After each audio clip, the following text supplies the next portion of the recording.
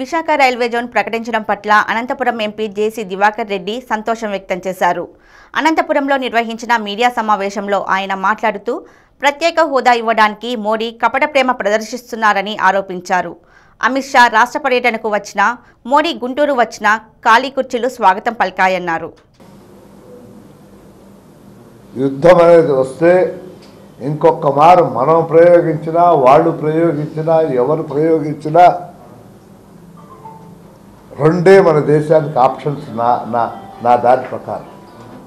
ఈ ఆక్రమిత కాశ్మీర్ అనేటువంటి మాటే ఉండకూడదు. వన్స్ ఫర్ ఆల్ అది చేరిపోవాలా? ఇండియాలో చేరిపోవాలా? కాశ్మీర్ మహారాజా గారి యొక్క ఆయన పరిపాలన ఉన్న భూభాగం అంతా ఇండియాలో చేరిపోవాల్సిందే. కానీ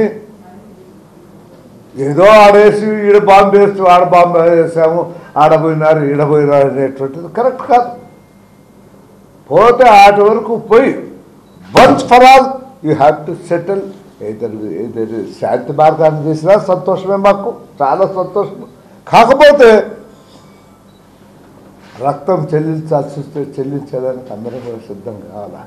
ఇతూరు యుద్ధం అనేది వస్తే ఒక కాశ్మీర్లోనో ఏడో జరుగుతుంది అనుకుంటే చాలా పొరపాటు. అనంతపూర్లో బాంబులు పడ్డా ఎవడు? ఆశ్చర్యపోవాల్సినటువంటి అవసరం. ఎక్కడెక్కడ జరుగుతుందో ఏం జరుగుతుందో కానీ యుద్ధం అనేది రాకూడదు. యుద్ధం అనేది వస్తే మాత్రం ఆ సైన్యం నిలబడితే మాత్రం they have to go up to the ఆక్రమిత కాశ్మీర్కు పోవాల్సిందే. దాన్ని ఇండియాలో చేర్చాల్సిందే తప్ప మరొక మార్గం ఉంది. ఎన్ని రోజులు ఎన్ని ఎంత ఎంత కాలం ఎంత డబ్బు వేస్ట్ చేస్తున్నామో ఆశ్చర్యం. శాంతి భద్రతలు కాపాడే కొంతమంది.